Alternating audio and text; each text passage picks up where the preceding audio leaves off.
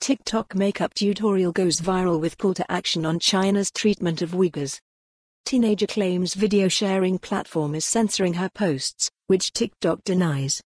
An American teenager who is using makeup tutorials on TikTok to spread awareness of China's detention of at least a million Muslims in internment camps in Xinjiang has claimed her videos are being censored by the platform.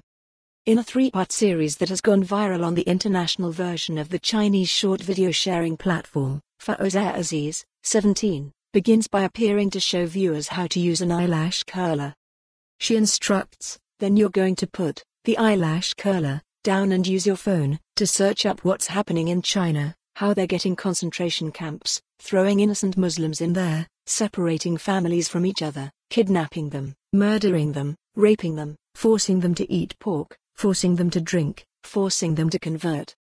This is another Holocaust, yet no one is talking about it.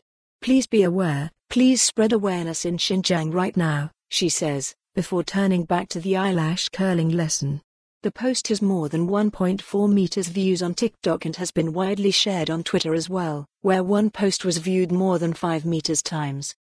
The teenager, who has said she is an Afghan American from New Jersey, claims her account, at Get Mefamous Part 3 has been censored in the past by TikTok.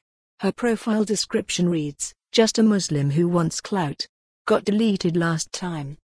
In one video she explains, by the way I say this so TikTok doesn't take down my videos.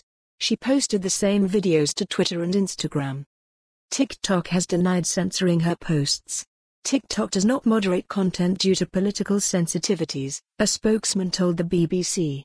He said the company had banned one of Aziz's videos because it broke rules on terrorism related material. Aziz has hit back that TikTok misunderstood her videos and immediately suspended her account after she posted content related to Xinjiang.